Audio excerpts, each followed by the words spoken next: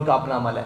दूसरी आपने सवाल किया कि तशद तहरीक लबैक पाकिस्तान के किसी एक धरने में, किसी एक मामले में पूरे पाकिस्तान के जब वज़ीर इतलात थे, ये फवाद चौधरी साहब, इनको पूरे पाकिस्तान में एक केलों की रेडी के अलावा कोई चीज़ नहीं मिली थी जो मीडिया पर दिखा सकें। अगर आप तशद की बात करते हैं, ये सिर्फ़, सरासर एक प्रोपोगंडा है जो तहरीक लबैक पाकिस्तान के सर पर थोप दिया जाता है। आपके सामने हम हमने इतने धरने किए, सारी चीज़ें आई। किसी एक बैंक वाले ने, हम जहाँ से गुजरते हैं, किसी एक मैकडोनल्ड वाले ने, किसी छापी वाले ने रेडी वाले ने, ये कहा हो कि इन्होंने मेरे, मेरी चीज़ें लूट ली हैं, मुझे उठा लिया है। पाकिस्तान के अंदर जब बेनज़ीर मोहतरमा का मर्डर हुआ, आपने देखा पूरा आधा पाकिस्तान जल गया। बैंक लूटे गए पटरियाँ उखेड़ दी गई। वहाँ वहाँ तो किसी को मुतशद पीपल्स पार्टी नज़र नहीं आई।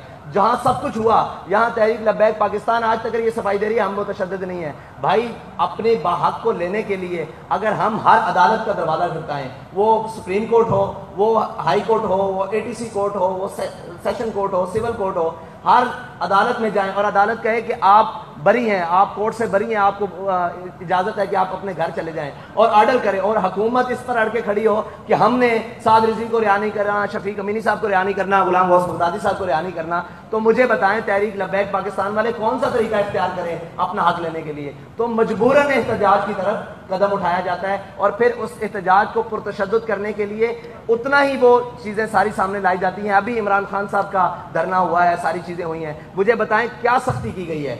क्या क्रैकडाउन किया गया? हमारे सामने मौजूद है। अगर हम, जो टीएलपी के साथ रवैया रखा जाता है, अगर उसका दस फ़ीसद भी पीटीआई के साथ रखें तो पीटीआई का वजूद ही खत्म हो जाए। मैं आपको गारंटी से कहता हूँ गारंटी से कहता हूँ इस बात को।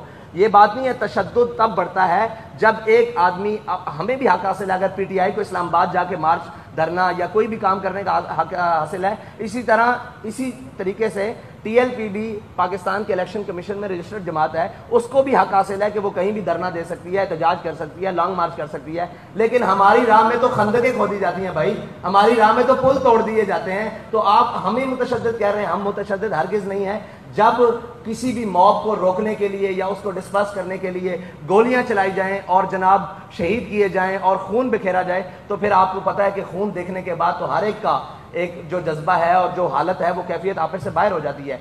फिर भी हमारे हाथ से किसी भी रियासती शख्स और रियासती मशीनरी को नुकसान नहीं पहुँचा इसकी भी आप रिपोर्ट अपने इदारों से ले सकते हैं। और दूसरा सवाल क्या था आपका? हाँ एन ए टू फोर्टी आपको मालूम होना चाहिए कि एन ए टू फोर्टी के अंदर